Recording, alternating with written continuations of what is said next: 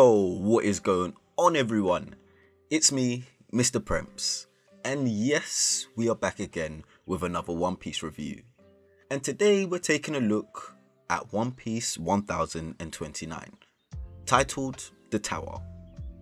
And I'm not gonna lie, it feels like ages since the last One Piece chapter, because we were on break for the last week and it's just typical that we'd be on break after that huge Sanji reveal at the end of chapter 1028. But today it's all about chapter 1029. So this is your spoiler alert, because if you've not read the chapter, then this is your chance to go back and read it before coming back to this video and checking out my review, because this was definitely another good one. Now the cover page is of Jewelry Bonney having an eating contest with some sea otters. And I'm not gonna lie, my money's on Bonney because that girl can eat. But always good seeing the wider characters in the story regardless. Oda, I'm still waiting for the cover story to return, but I digress. Because the chapter literally starts off from where we left off last chapter, and we see Sanji standing there, unfazed, as the shards of Queen's blade that shattered are hitting the ground, and there's actually some still in the air. And something that we've seen a lot of so far, particularly from the Beast Pirates, is the shock that anyone could stand up to Queen or King, or just any of the commanders really, because they see them all as some untouchable strong figures, which is actually hilarious because they have no idea who these Straw Hats are. But they're all trying to work out what's going on here, because Sanji literally didn't move and Queen's blade shattered. So as Queen gets to thinking, he's like, nah, nah, nah, nah, that can't be armament haki because that's not quite how it works. And then Queen has an epiphany because for those of you who have forgotten, Queen used to work alongside Vinsmoke Judge.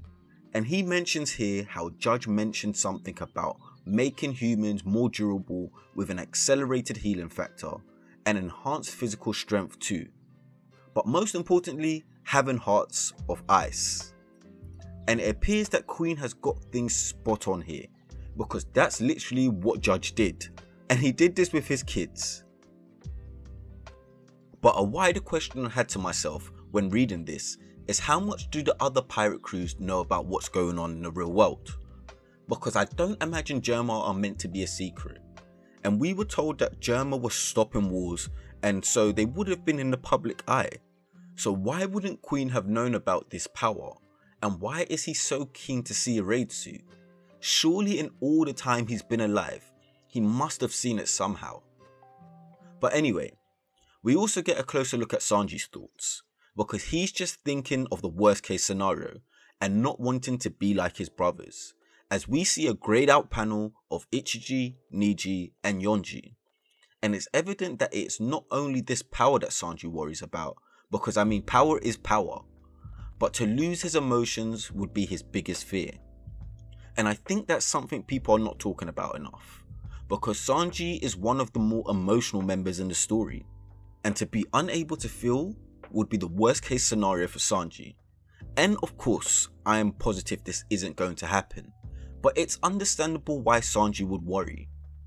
And also, just as a side note, we can see Sanji pulling his face back into shape. And I recently dropped a video on Sanji and this being similar to what happened to Yonji on the Germa Kingdom. So make sure you check that out too. But moving on, Sanji is still trying to comprehend what is happening to him. And honestly, he just needs a breather.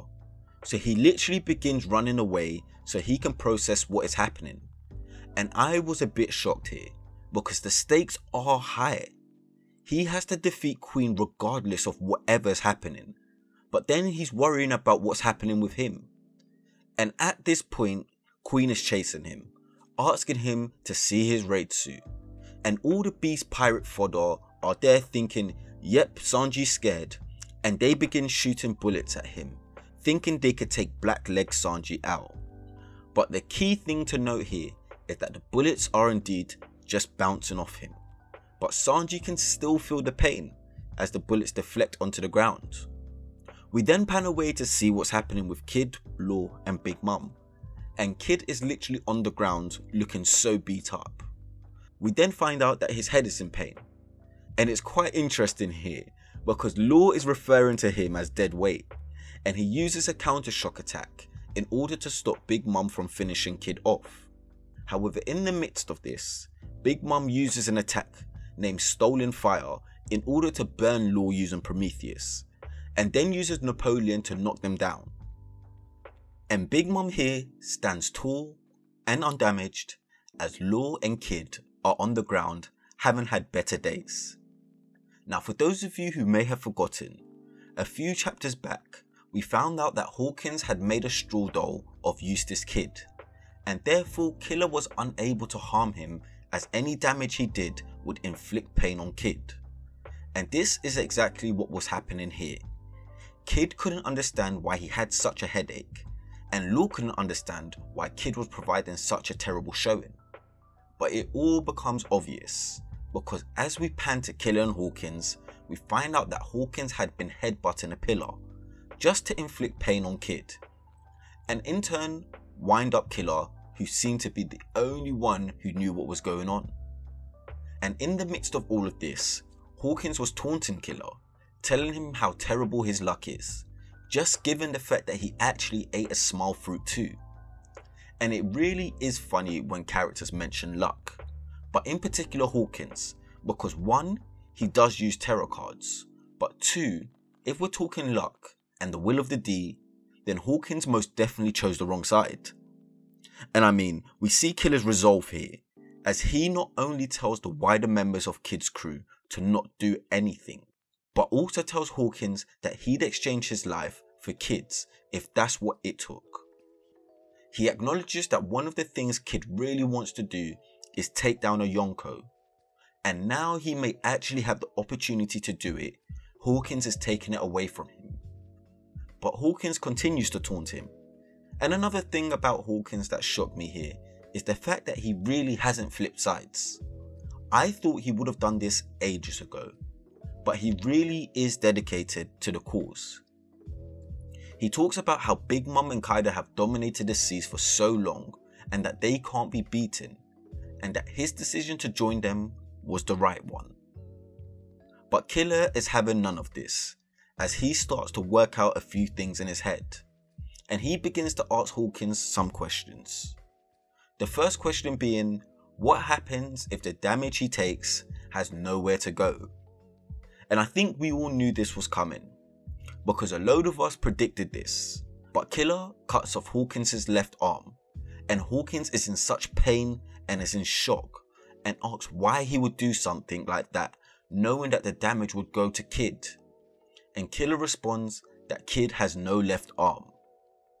And the second question that Killer had for Hawkins was if he removed the kid doll, how many more lives did he have left?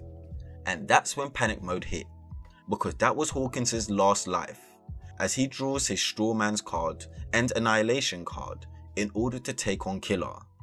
But that was nothing to fear for Killer, because Hawkins uses his tarot cards at this moment to find out what the result of this battle will be, and he draws the Tower card. And from what it looks like, it shows a tower falling and as Hawkins says, this isn't what he predicted. Before Killer uses a sonic blade attack and takes out Hawkins. And this is absolutely fantastic. And one thing I'm looking forward to is finding out if Hawkins legit lost his own left hand. But now with Hawkins' defeat, we pan back to Kid and see he finally feels like himself. And he states how he's never felt better and now it looks like we're really going to see what Kid is capable of in this battle against Big Mom. And I just love the final panel we get of Killer saying, Go for it, partner. Knowing that he's done his bit in this battle to give his captain the ability to have some fun. And that brings the chapter to an end with no break next week. And it's fantastic because all the kid haters are about to see what he can actually do. And so I hope Oda really doesn't nerf him anymore. But this was truly another great chapter, and Oda continues to deliver week on week. And at this point, I think we're completely spoiled. In the grand scheme of things, there was definitely quite a bit touched on in this chapter, with Sanji figuring himself out and Killer's resolve, and now the freeing of Eustass Captain Kid. I'm definitely excited to see what else Oda has in store for us. But as usual, if you like anything I've had to say, then please make sure you leave a like on the video, and if you want to support your boy, then make sure you subscribe to the channel so you never miss out when I drop more reviews just like this. Say.